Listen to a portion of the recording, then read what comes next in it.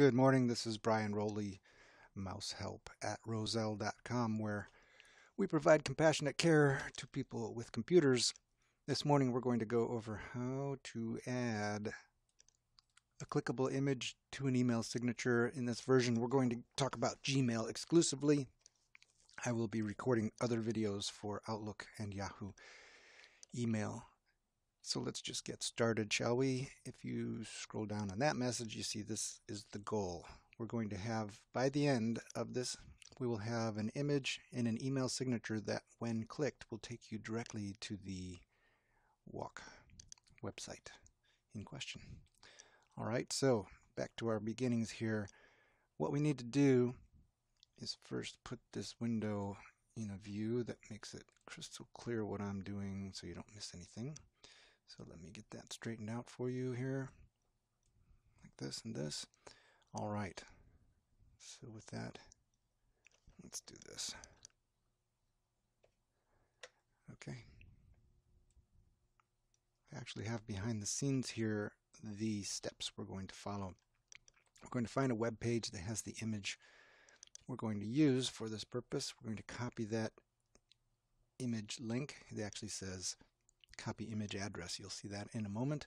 We're going to paste that URL into the signature in Gmail and then we're going to modify it. We're going to adjust size and the eventual target will be the walk website. So watch this if you need to pause.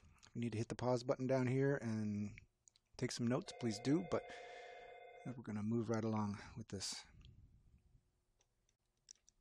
All right, so step number one was to get to the appropriate website with an image on it. I like this image, it's nice and clean. So I'm going to, and this is here at, so you may want to take that down as well. Why don't I just copy that and put it in the notes here for you. So that is where I'm going to go to get this image. So now it says second step is to copy the image. I guess I should say we need to right click on that. So let's do that. Right click and choose copy. Eggs that were just laid last night. Ah. Image address.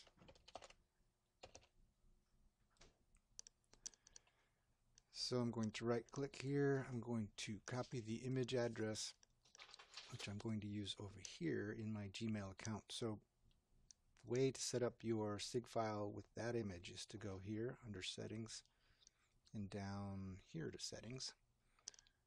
And when it loads, if you scroll down the page, you'll see about halfway down here is that's the end result. So what I need to do now is click on, if that image isn't there, you need to paste it in there. So this is where you insert your image. And here's where you put the URL for the image you want to have in there and there it is. And then the next step was to adjust the size because for my needs that's a little large. So I'm going to scroll down some more here. If I click on the image once, I get this adjustment here. I can make it tiny, a little larger, a little larger, and overwhelming.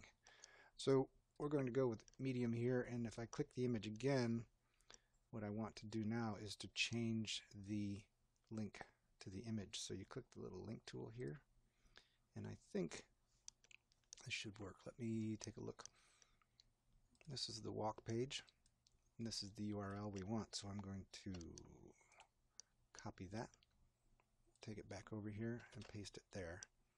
When I say OK, what I want to know now is that's I'm thinking that's where we're going to go. And it's easy enough to test. So even if it didn't work the first time around, you know the steps now, and the main thing is make sure you scroll down to the bottom and save changes, otherwise nothing changed.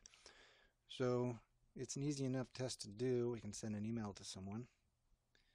And if I click that, let's see if it's going to tell me where it's going. It is not. There's where it will go. Let's see what happens. And test the link.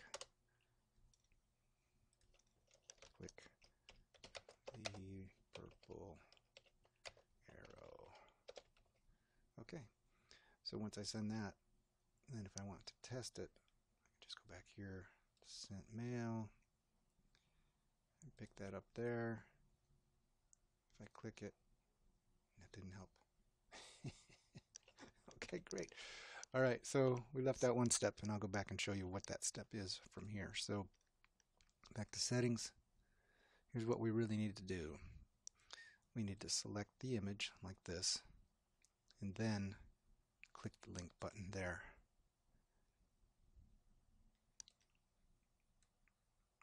Let's try it again. That's my signature. There it is, where it says link, go to link. I want to change that. And make sure you select, see that little uh, forward slash that's in there? You need to make sure you select that because otherwise it'll mess up your step, which is to paste in. Remember where we came from here? And we went back here and we're going to paste in that web address. Now when I say OK, don't forget to scroll down, save changes. And now when I send an email,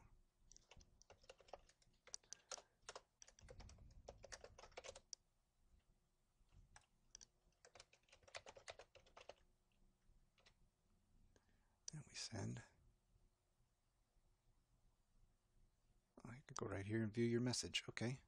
So if I click that, magic. All right, we're finally at the right place.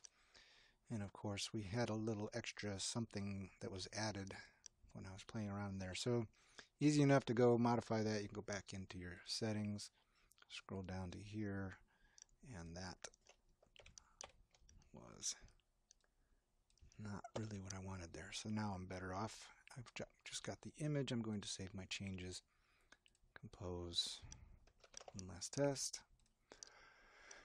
And away we go. And I view my message, check it there, and yes.